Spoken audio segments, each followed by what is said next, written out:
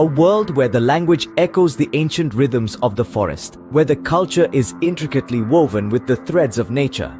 This is the world of the Huaorani, an indigenous people whose unique culture and lifestyle stand as a testament to human resilience and adaptability.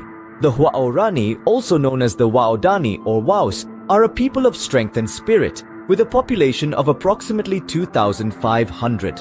Their language, Huaorani, is a linguistic isolate, a unique linguistic gem that shares no known relations to any other language in the world.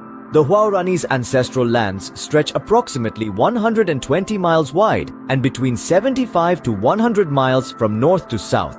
This is a land threatened by the encroachment of oil exploration and illegal logging practices. Yet, the Huaorani have fiercely protected their culture and lands, just as their ancestors did against indigenous enemies and settlers. Over the past 40 years, the Huaorani have undergone a significant societal shift.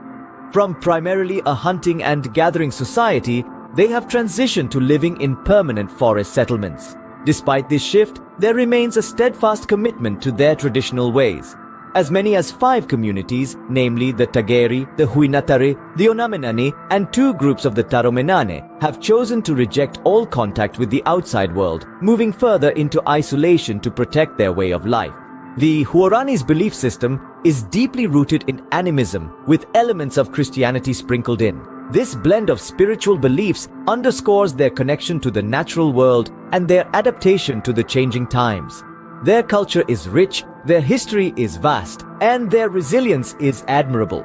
The Huaorani people of Ecuador are a living testament to the power of tradition, the strength of community, and the enduring bond between humans and nature. In summary, the Huaorani, with their unique language and culture, are a beacon of resilience and adaptability. Despite the challenges posed by modernization and external threats, they continue to uphold their traditional ways, fiercely protecting their lands and their way of life. They are a powerful reminder of the intricate bond between humans and nature, a testament to the strength of community